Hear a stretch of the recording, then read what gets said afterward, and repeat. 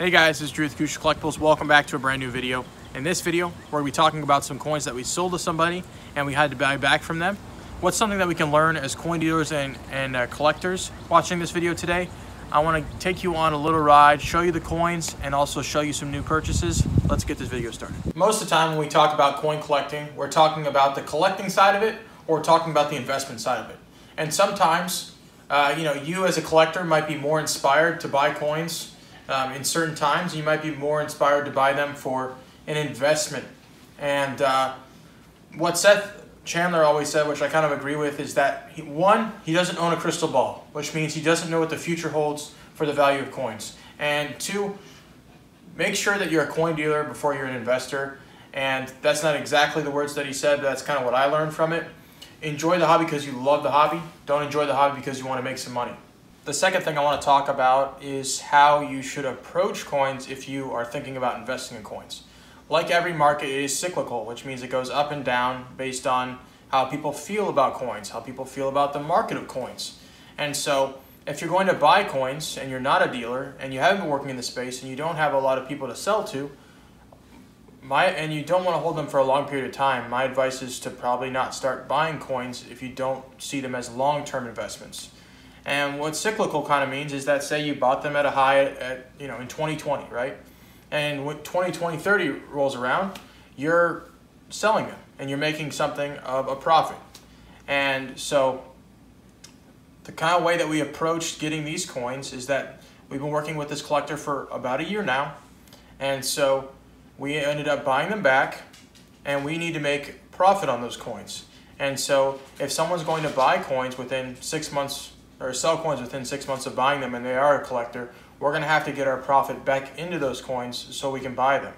We're not going to go buy them for the height of the market or we're not going to go buy them for most of their value if we can't make uh, money selling them to you guys. And so it's just something for you guys to consider, think about.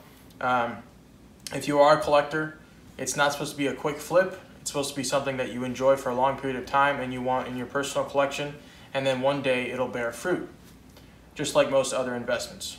I am not a financial advisor. But now, we're going to be talking about those coins, showing them to you, and we're going to be showing you some other new purchases that we got in. If you guys want to check those out, AcoushaCollectibles.com. Starting out with two trays today. One is the dollars that we picked up from the collection. The other is some nice tone stuff. Let's show you that first. Showing you something out of the ordinary. Uh, to begin, this is the 1901 Mexico peso. It's great AU58 by NGC. Nice colorful toning on both sides of the coin. Does have gentle wear. Just taking a look at this color on the obverse really makes it pop and interesting. Bought this and had a client that came through and see me buy it and we ended up selling it to him super quick. But definitely wanted to show you guys. Got two Standing Liberty quarters with some nice toning. This is a 26S. Standing Liberty quarter, really nice rainbow rim toning. Mid-grade, old soapbox. Kind of cool. Then we have this 28D, Standing Liberty quarter with some blue and purple toning to it. Nice luster on the coin as well. Not a crazy uh, tough date, but I did like the eye appeal of the coin, and so that's why we picked it up. About two Peace dollars to talk about today. This is a 26S. Definitely a slider. It is slid. As you can see just by the cheek there, and a lot of chatter kind of in the fields. But bought a white coin with a lot of luster. And that's what sells for us. Speaking of selling, this one sold pretty quickly right after we posted on our website. Make sure to check on it daily. We try to post as many coins as possible as soon as we get them in. This is a 1923 Peace dollar MS64. When we do buy, buy Peace dollars, we want them with a lot of luster. This one happens to be an OGH holder as well. Slight toning, on, uh, on the eagle on the reverse. You can see that little bit of haze there. Moving on to the dollars, all old holders, all really nice and eye appeal, kind of like most of the coins that we showed you over there, except for this Colombian. It's not the most prettiest coin, so what do you do with that coin? You sell it for back of comps. This one has a little bit of toning to it, still a nice grade, but definitely doesn't have the eye appeal that you'd be looking for if you're going to spend top retail money like $150, $160. This one's $130. But when we talk about appeal, we talk about old holders, we talk about CAC, a lot of people are looking for these. So We try to price them fair, but also not giving them away. So let's talk about the 82cc top right. Old blue holder. Luster's phenomenal. There are some hits kind of right on the face there, a little chatter out in the fields. But definitely Gemmy Luster. Really like the coin. A little haze to the coin. We have this 84cc in OGH. A little bit more chatter as you can see. Luster's un uninterrupted, not much haze to the coin at all. When you flip it over, a little hazy on the reverse, but like I said again, just really strong in its luster. It's 84cc. There's a light scratch on the holder in front of the face. It's not on the coin. Just your average 84. A lot of these Carsons were just a little bit more beat up than most most dollars, and so uh, finding them in 66, 67 is a little bit tougher. We have three CAC approved rattlers on the bottom, which is nice. 78cc.